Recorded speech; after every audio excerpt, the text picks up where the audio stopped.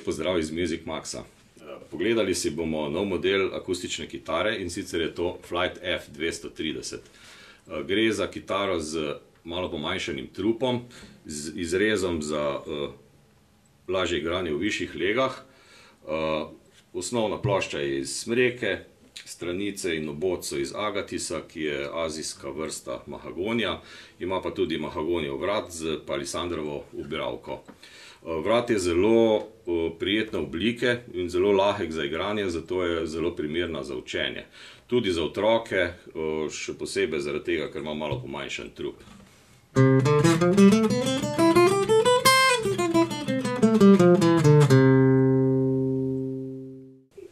Ta kitara prihaja v treh barvnih verzijah, in sicer v naravni barvi, v sunburst barvi in pa v črni barvi. Je pa na voljo tudi v popolnoma akustični verziji in pa elektrificirani, takšna, kot je tale. Ima vgrajen predvečevalec z uglaševalcem. Grand koncert oblika te kitare je zelo primerna za, za igranje s prsti, igranje solo pasaž in pa tudi za navadno spremljavo.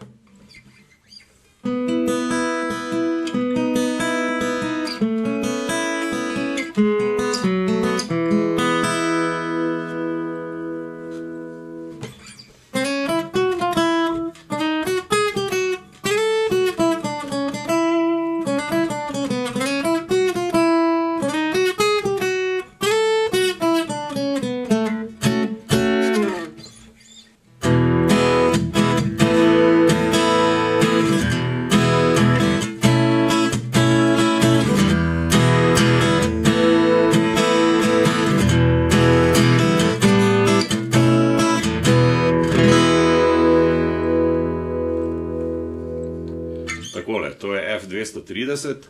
Če želite biti na tekočem z novostmi iz Music Maxa, pa se naročite na naš Youtube kanal.